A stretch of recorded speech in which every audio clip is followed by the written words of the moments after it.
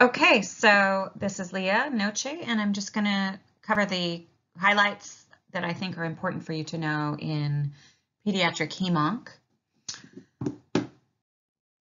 So starting with the anemias, um, three specific anemias that we're looking at. Uh, first is sickle cell anemia, iron deficiency anemia, and then aplastic anemia. Thanks to everyone who's already looked at the discussion board, watched the video on sickle cell and the new treatment that's um, hopefully soon available to everybody. Sickle cell anemia is a genetic uh, disorder that's passed down. Hemoglobin A is partially or completely replaced by abnormal hemoglobin that sickles. Um, and you saw that in the little video. Um, so this is a genetic disorder. There's a few tests and some of you listed uh, the more um, accurate testing, but at birth, everyone that's born in the United States gets screened for sickle cell among many other uh, genetic disorders in that state newborn screening that we do on infants before they leave the hospital. Um, and then if, if that is kicked off as a positive, then we would do more advanced testing. So the problem with hemoglobin S is that it's very sensitive to changes in oxygen content uh, circulating in um, your body and on the red blood cell. And so any increase in demand um, that causes decreased oxygen supply causes those cells to sickle. And so you have all kinds of situations, uh, like if you have an illness, you get sick, and you get a fever, you get dehydrated or stressed or exercise induced, that can cause those cells to sickle. What we worry about most is a sickle cell crisis, and that's an acute exacerbation of the disease. The severity range, there's a range from mild to moderate to severe, um, and is generally considered reversible with treatment, but that's not without causing potential damage to multiple organ systems um, before it is reversed. So here's a little uh, picture of a boy who is experiencing sickle cell crisis. You've got um, those sickle-shaped cells. They clump up all of the blood vessels, and so you've got potential for these four types of crises. Vaso-occlusive, so clumping of the cells in your microcirculation. So you can have ischemia anywhere where your capillaries are. Um, ischemia and then infarction, so they can actually have strokes. Um, and more severe, that it can cause paralysis and death. It can cause retinopathy, um, blindness, or little microhemorrhages. It can cause uh, what's called avascular necrosis, so a cutoff of the blood supply in your shoulder. Um, it can cause problems in the spleen and the liver. So splenic sequestration, clumping of cells in the spleen. Um, and you know that your spleen is important in terms of uh, storing red blood cells. So if the supply is cut off to your spleen, you can have profound anemia, hypovolemia, and go into shock. And then in the liver, the sickle crisis can cause hyperhemolytic crisis uh, and then a subsequent accelerated rate of red blood cell destruction, um, and then anemia and jaundice. So when your red blood cells are destroyed, they release a bunch of byproducts into the circulation. One of those things is um, bilirubin, which causes jaundice. And then they can also have aplastic crisis, causing a decreased production and increased destruction of the red blood cells. And that's usually triggered by viral illness um, and can also be caused by um, a decrease in folic acid stores. So pain, you know, pain often brings them into the hospital, but as you can see on the diagram of this child, they can have signs and symptoms all over their body depending on which uh, organs are affected at the time.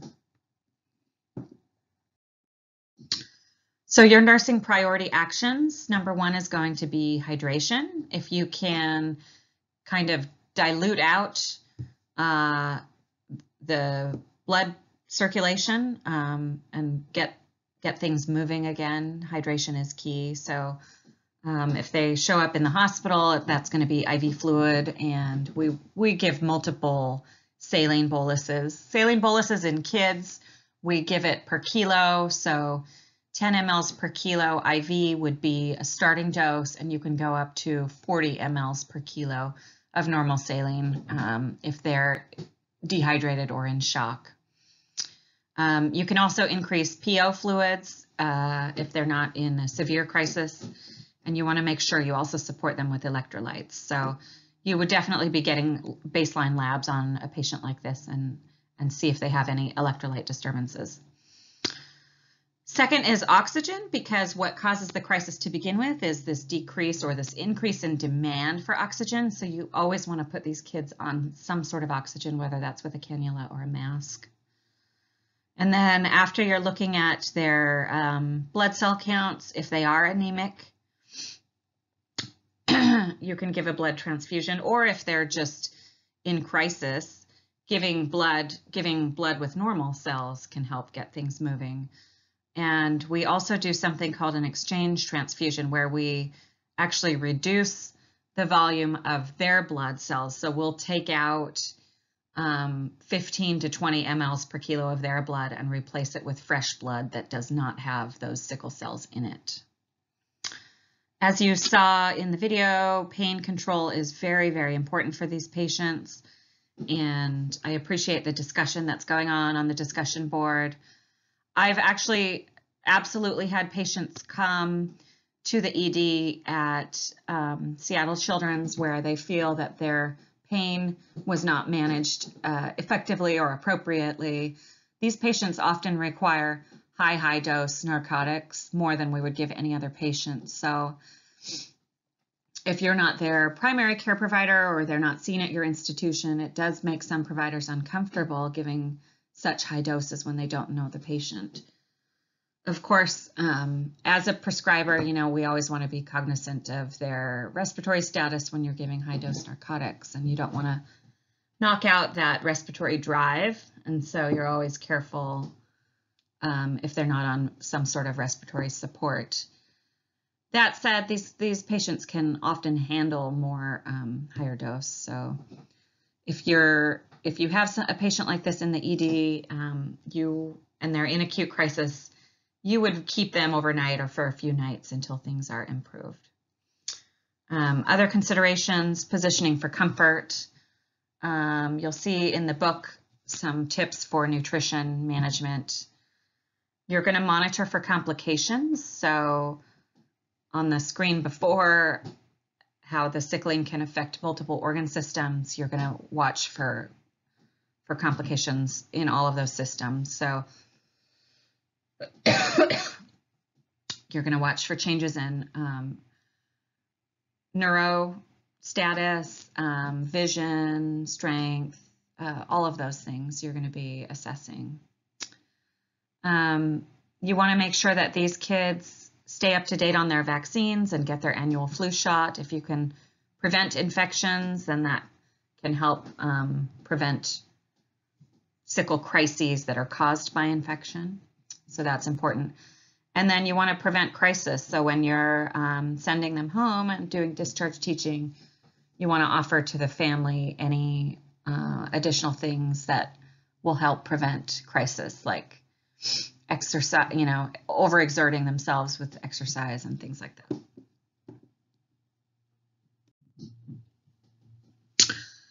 And then for iron deficiency and aplastic anemias, I did a side-by-side -side because you do need to be able to differentiate. Um, so I wanted you to see the comparison. Iron deficiency anemia is pretty self-explanatory and probably the most common anemia that we see in kids.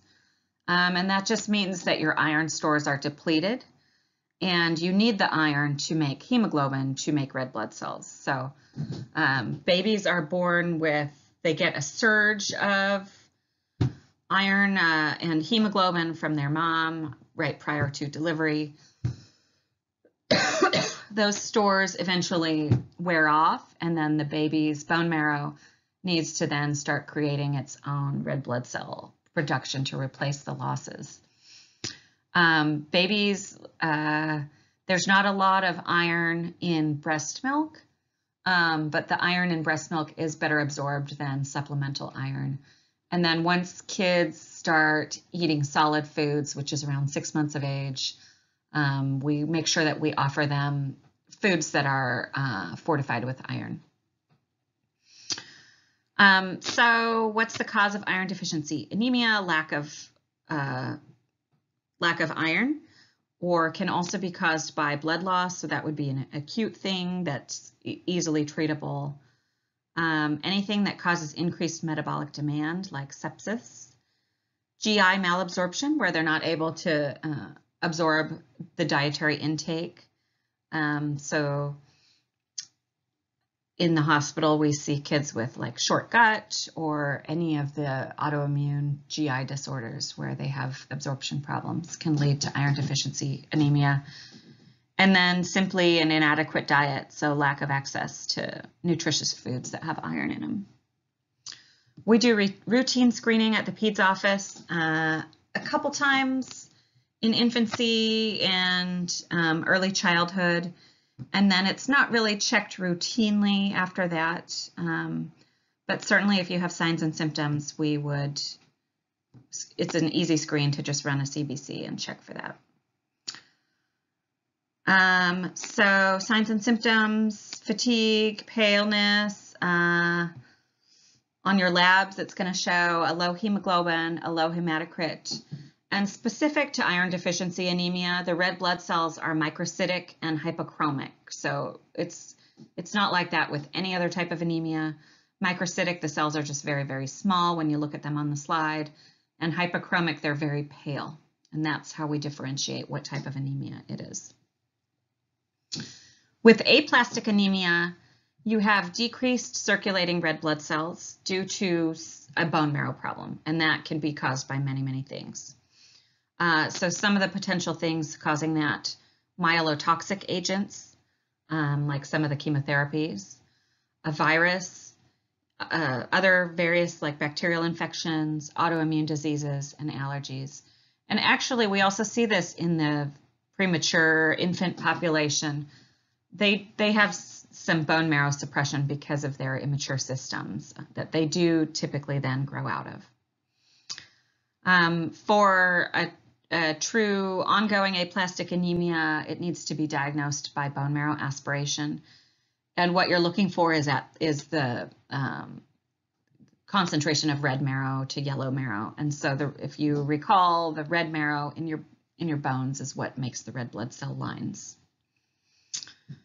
Um, if you're looking at uh, CBC with aplastic anemia, you're going to see pancytopenia, so what does that mean? That means that all of your cell lines are uh, decreased because your bone marrow is responsible for creating all of those cell lines. So we're talking about your red blood cells, your white blood cells, and all the differentiated cells. You'll They'll just all be lower in numbers. On clinic exam, you might see petechiae, bleeding, purpura, um, the patient is going to be weak and feel fatigue and maybe have tachycardia if they're very anemic. Nursing priorities for these anemias. So for iron deficiency, blood transfusion as needed, and that would typically only be done if they were very, very anemic or if they had other health problems where you thought they couldn't really mount a response to recover from this. And obviously iron replacement and that can be done orally or um, IV if they're in the hospital, and also IM. So we can give high dose iron that way. And then you're also going to do some dietary counseling and ensure that they're eating things that are rich in iron. For aplastic anemia, they are doing bone marrow transplants for that to replace some of those cell lines and, and give the bone marrow a boost. If it's caused by an autoimmune disorder, then they may put the patient on immunosuppressive medications to stop that. And then we also have um, a couple of medications that stimulate the bone marrow to start making those cell lines. So GCSF, also known as colony stimulating factor, is one of them. and also Neupogen is another one. And you'll also see those in the adult cancer um, units. The same same idea. It stimulates the bone marrow to start making blood cells faster. And of course, um, they are also uh, also they can get blood transfusions as needed.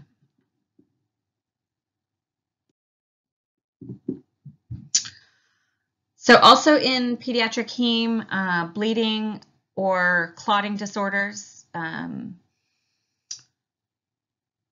we use those terms interchangeably. Um, so hemophilia is one of your primary bleeding disorders that we see. Von Willebrand is similar to hemophilia. Um, I'm not going to talk about that at length, but I just wanted you to be aware that it is present. Um, and then DIC, which stands for disseminated intravascular coagulopathy. I'm not going to talk about that either, um, but I just want you to know that it's there as a bleeding disorder. DIC happens when a patient is goes into shock for whatever reason. It could be an infection or near drowning or something like that, where they're in shock, and um, the liver it is not um, does not get oxygen for a time and stops um, supporting the the blood flow in the spleen and the bone marrow, everything kind of shuts down. And so you get into a situation where the patient is bleeding. Um, so just know that those are there and that they happen in children as well. But I'm going to talk about hemophilia. So hemophilia A and B. Um, A is the most common. This is an X-linked recessive disorder, so it's passed down from mother to their sons or to daughters as carriers, but the, the sons are the ones that exhibit the disease. so this is a genetic disorder and it results from a deficiency of one of the coagul coagulation factors um, or proteins that help in the clotting cascade. And I, you, you can see on this diagram here, um, if you look closely, there's an injury and then damaged tissue. And then your body is supposed to make all of these proteins, um, factor 2, factor 2A, factor 5, factor 6, factor 10, factor 8. Um, all of those are the precursors to thrombin. Um, that make your clot. So prothrombin and then thrombin and then fibrinogen and fibrin, and then you form a clot and you stop the, the bleeding. In hemophilia and von Willebrand disorder, uh, those patients are missing one of the clotting factors in this cascade. And so if we can identify specifically which factor they're deficient in, we can replace just that factor and stop the bleeding. Ideally, you would know um, if there's a family history of hemophilia specifically or bleeding disorders. Um, certainly when women come in in labor and they're carriers, we watch for bleeding in the patients and you can send off screening tests. If you don't, uh, if you don't have that information and you just have a patient that's bleeding, you can transfuse them with plasma, which contains all of the factors. But say that you've identified that this patient has hemophilia A or they're at risk for hemophilia A because of the family history, then you can just start replacing with factor 8. And the blood bank will um, pull off those factors and have that available. So these patients present with abnormal bleeding, joint pain, and bruising.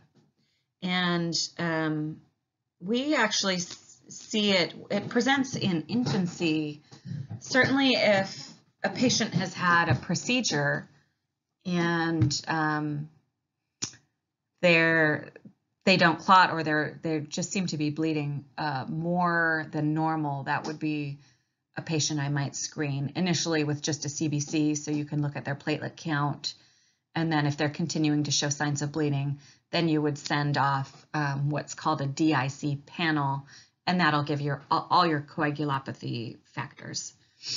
So examples in the newborn period when, you know, the first time a child is in the hospital, it might just be blood glucose checks on a baby or when they get their state newborn screen and it just doesn't seem to um, clot easily. That might be an indication to do a CBC. Also, we see kids after a circumcision where they have profound blood loss in their diaper suddenly, um, and that is often how a bleeding disorder is caught, something like that. So those are just some examples. You might also see a baby, you might examine a baby after delivery that has a lot of petechiae, and that would um, be an indication of suspicion that you want to investigate a little further. So your nursing priority actions for bleeding, you want to monitor for bleeding. Children are most at risk for bleeding in their brain because they have very fragile developing blood vessels, and so you're going to be assessing neurostatus and if they present with bleeding, certainly we would do more studies and look at their head if we're um, worried about it. But if, if we have a proven hemophilia, then that would certainly initiate some scans of the head. Another place that children bleed pretty easily is in the kidneys. So um, you would do a renal ultrasound to look for bleeding there, and you're going to assess for hematuria. So your priority actions, you're going to treat the bleeding, if they're bleeding in the, their joints, um, their knees or, or ankle joints, you're going to immobilize, elevate, and apply pressure. Certainly, if you have active bleeding anywhere, you're going to apply pressure. And then the, the main treatment is to replace whichever factor they are deficient in. So you're going to give that um, product or plasma.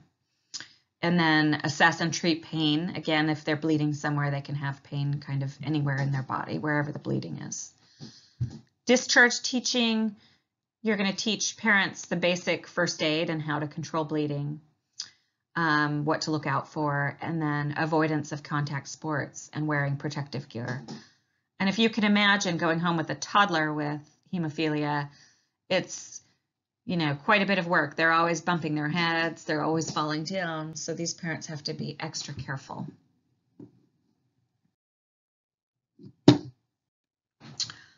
Okay, on to pediatric oncologic disorders. I'm just going to talk about the most um, common ones that we see.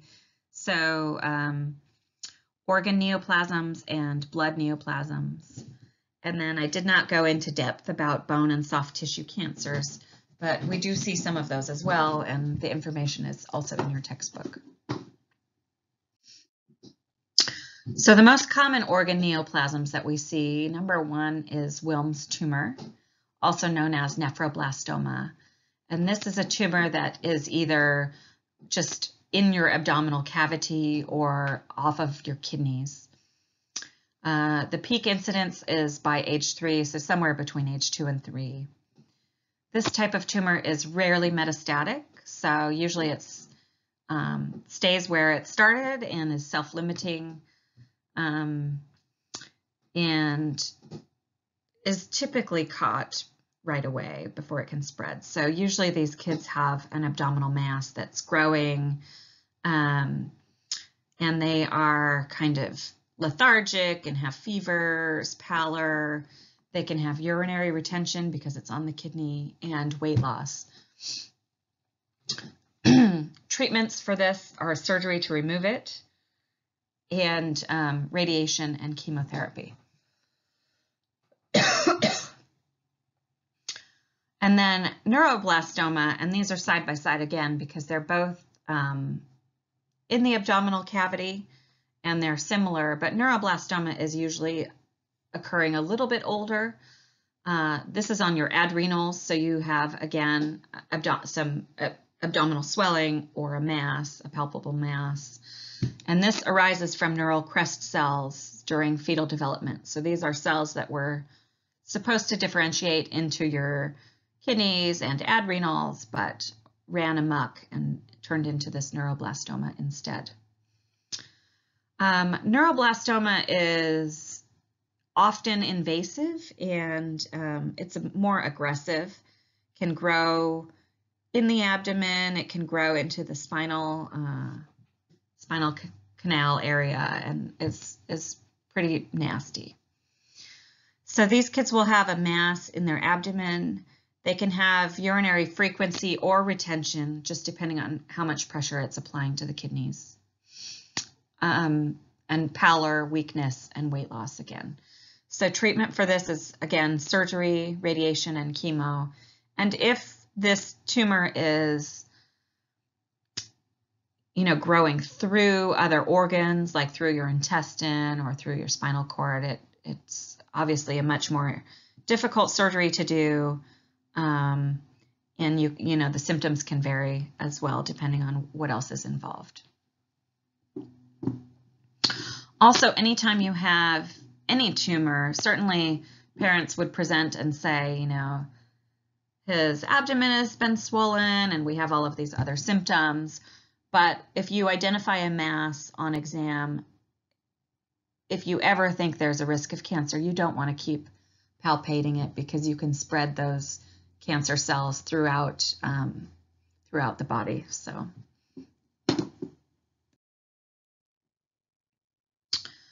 Uh, blood cancers, leukemia is the most common cancer that we see in childhood.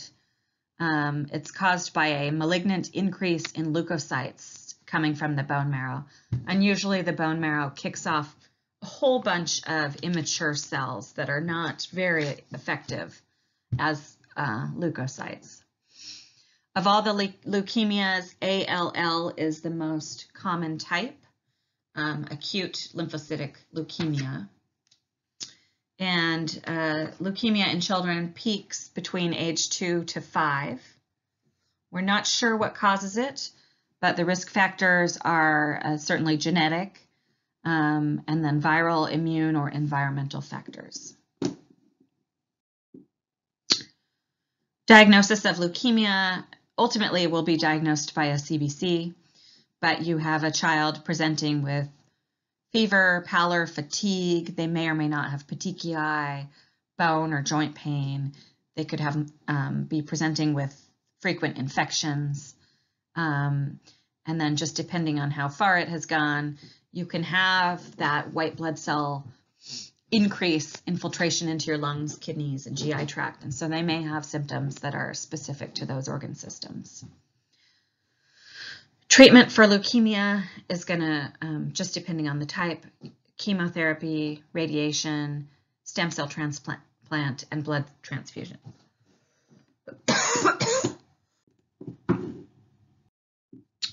So nursing considerations for all uh, oncologic disorders. Number one, you need to know the phases of chemotherapy. And this applies to children and adults when you get into the adult world. So there are four phases. The first one is induction. Um, and the goal of induction is to achieve remission or have a, so a decrease in the number of those leukemic cells that are circulating or a complete disappearance of those cells. In the intensification stage, you're uh, looking to decrease the tumor burden. CNS prophylaxis, you want to prevent those leukemic cells from invading into the CNS. And then the maintenance phase, the goal is to maintain remission. And so all of these phases have different goals, different things you're trying to achieve um, and different nursing considerations that go with each one. You may be increasing the amount of chemotherapy or the type or decreasing, putting them on maintenance chemotherapy. So it just depends. And so I'd like you to read more about the phases of chemotherapy in your book. Other nursing considerations, you always want to protect these patients from infections. As you know, we are suppressing their immune system, and so they're at very high risk and can get very, very sick if they get an infection. You want to monitor for intracranial pressure, um, and that has to do with um, chemotherapy and the symptoms of that. And there's a great um, table in the textbook that shows you the signs and symptoms of ICP in children. Um, so in infants, that would be like a bulging fontanelle, irritability, high-pitched cry, difficulty feeding. In children, they may have headaches, nausea, vomiting, um, blurred vision. Kids can be irritable or restless, um, or they can have an increase in sleep and lethargy. And then, of course, late signs with increased in ICP, you're going to have bradycardia, delayed motor response, delayed sensory response. So we do a lot of neuro assessments kind of with each um, each nursing hands-on. It's important just depending on the state of the child to always do those neuro checks. You want to protect your patient from bleeding. Um, and then you want to know the adverse effects of radiation and chemotherapy. And there's a bunch of them. And um, of course, it depends on what type of chemo you're getting. But in general, um, changes to your GI tract, because in, in your intestines and GI tract, those are cells that turn over quickly. They, they, they grow, they die, and when you're taking chemo, it kills all of those cells. So you can have nausea, vomiting, you can have ulcers in your GI tract, um, diarrhea, things like that um, skin changes, hair loss, dry skin. So any nursing considerations that apply to good skin care would be important here. Um, your bladder is another place where there's a fast rate of skin, uh, of sorry, not skin, of cell turnover. Um, so patients can get cystitis, and you'll want to increase fluid intake and make sure that they're using the bathroom frequently and not holding on to urine, um, and monitor for signs of hematuria. And then bone marrow suppression, just like protecting from infection. Um, you want to monitor for fevers. You want to give antibiotics if they're prescribed. Um, and then mo just monitoring for signs and keeping keeping uh, people who are sick away from these patients.